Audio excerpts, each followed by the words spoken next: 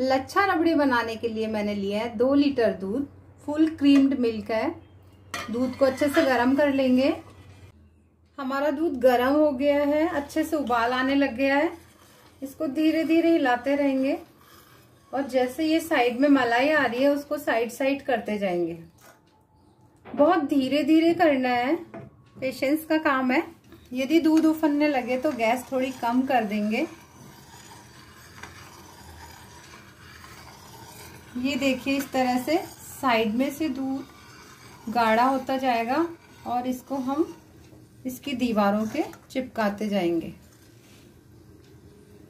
इसी तरह से करते रहेंगे जब तक कि दूध दो लीटर से आधा लीटर ना रह जाए।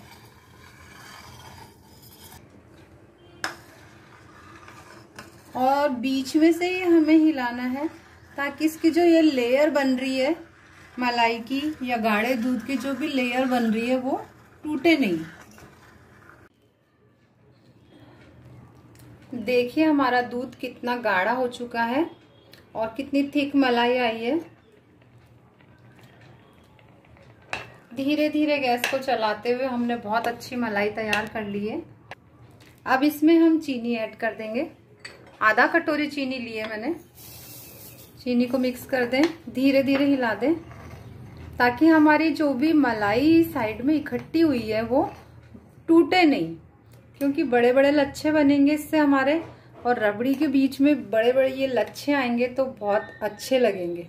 लच्छे बड़े अच्छे अब इसमें मैं बादाम पेस्ट ऐड करूँगी, जो कि मैंने दूध में मिक्स करके ग्राइंड कर ली थी बादाम। इनको अच्छे से इसमें ऐड कर दूँगी, ताकि बादाम का एक अलग ही फ्लेवर आएगा इसमें।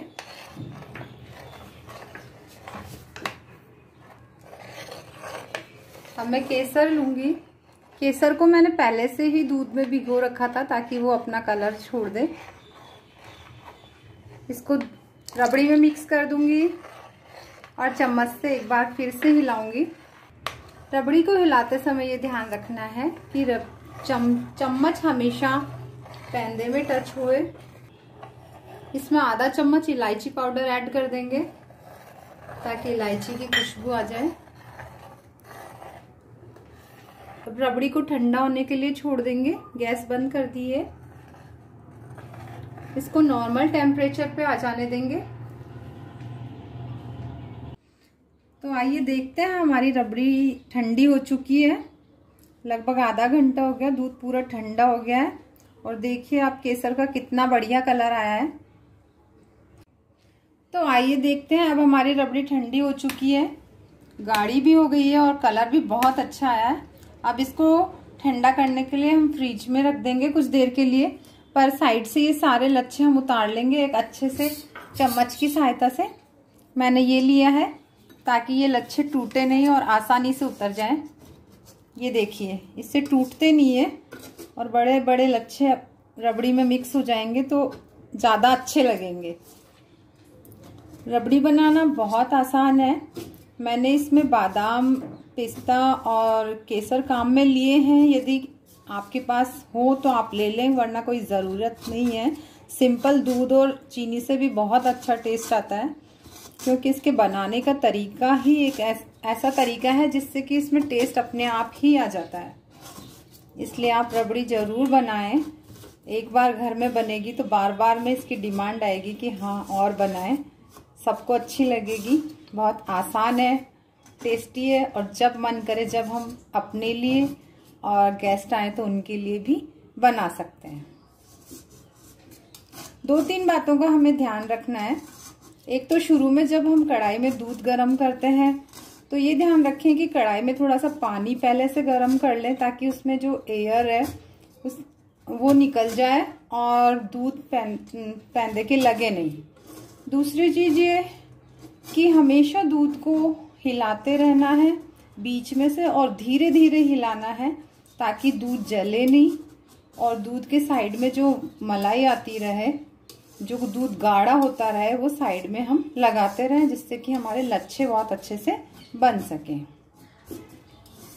एक चीज़ का ये ध्यान रखना है कि जब दूध हमारा दो लीटर था और केवल अब आधा लीटर बचा है, तब इसके अंदर हम चीनी और बादाम पीसी हुई ऐड करेंगे। मैंने पूरे लच्छे उतार दिए हैं और रबड़ी के अंदर मिक्स कर दिए हैं, ये देखिए। अब इस रबड़ी को हम दूसरे बर्तन में ट्रांसफ़र कर लेंगे। देखिए कितने अच्छे लच्छे आए हैं।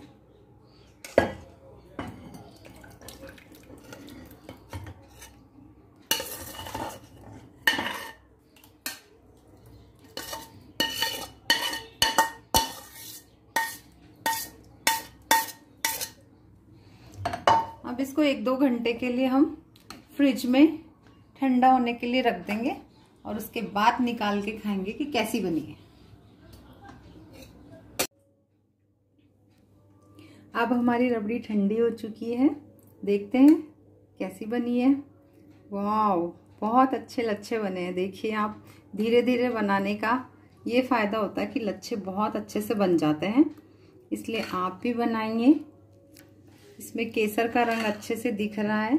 मेहनत तो होती है, लेकिन स्वाद बहुत अच्छा बनता है घर की रबड़ी का। अब इसको सर्व करने से पहले कुछ पिस्ता कटिंग्स लिए मैंने। उससे गार्निश कर देंगे इनको।